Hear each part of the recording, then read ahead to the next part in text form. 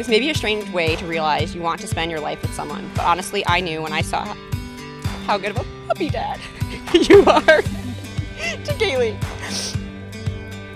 If you could love a little furry, adorable creature that much, how much would you love our future family, our children, and me forever?